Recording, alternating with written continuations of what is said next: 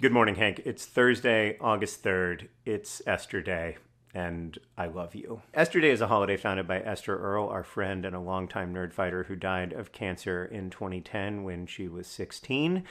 And she wanted Esther Day, her holiday, to be about the other kinds of love, the love that we don't celebrate on Valentine's Day, love between family and friends, and especially taking the time to say, I love you when it's hard to say it. Now, I don't want to flatter myself and say that I was in any way involved with the creation of Esther Day, but I do suspect that part of what Esther was thinking was, my gosh, it's hard for these two nerds to say, I love you to each other, and so I'm going to start a holiday where they have to do it at least once a year. But it has been hard over the years. Like, I'm about to confess something super big brothery and embarrassing, but sometimes when we were like just out of college or you were still in college and we would have like our occasional once a year or once every six month phone call, we'd always have these great phone calls. We'd talk for like 45 minutes. We'd have like broad ranging conversations about all kinds of things. And then when it came time to hang up, I would want to say, I love you. And I wouldn't. And then I would just be like, all right, well, take care.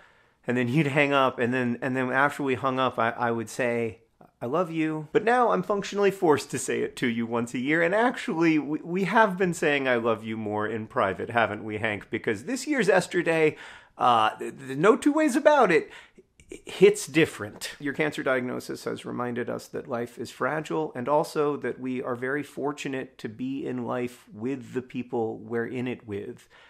It's also helped me to remember the cost of not saying, I love you. I need the people in my life to know that I love them, and I need to know that I am loved. Esther saw that at 16 better than I did in 2010, and so she gave us the gift of this holiday and this opportunity to tell the people in our lives we care about that we care about them. But I don't just love you, Hank. I also really deeply admire you. There's a lot of gifts that have been given to me in my life, but uh, very few of them stack up with the one that I received on May 5th, 1980.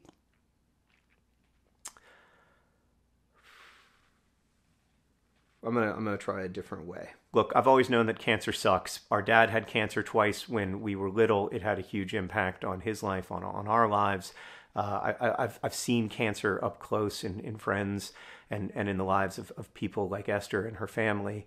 Uh, so I, I didn't need you to get cancer to know that cancer sucks.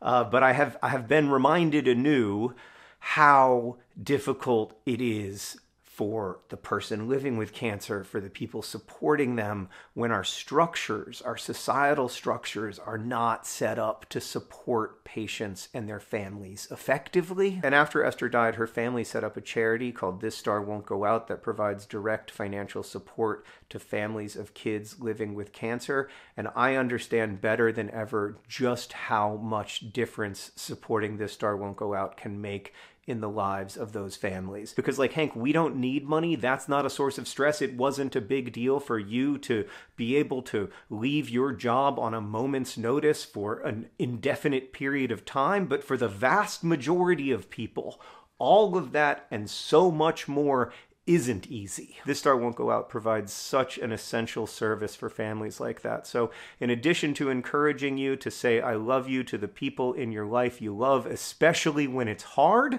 I encourage you to check out This Star Won't Go Out and donate if you can. tswgo.org, link in the doobly doo also. Hank, this summer has sucked, and I have this intense need to add but to the end of every negative sentence. Like, this summer has sucked, but I've gotten closer to my brother. That's true, but but there are better ways where we could have gotten closer, you know? Or this summer has sucked, but I learned a lot, which is also true you do learn a lot when you get promoted from unpaid social media intern to temporary and reluctant CEO. I would have rather learned those lessons in a different way, though. But here's a but I can feel good about. nope. Here's a but I can get behind. Definitely not. Um, all right. Here's a but that works for me. No, frick. I'm just going to say it instead of introing it. This summer has sucked massively, but I have seen up close how much love matters, how much the love of your colleagues at DFTBA and Complexly matters, how much the love of your spouse and your kid matters, how much the love of your family and your friends matter. What we really need in this world, and all in the end we can really give each other, is accompaniment and attention to walk with each other and to listen to each other so that none of us has to go through everything that we will have to go through alone. And so I've been reminded just how much all those kinds of love matter and how wise Esther was at the age of 16 to start, of all holidays, this one. Hank, I love you so much. Happy Esther Day. I will see you tomorrow.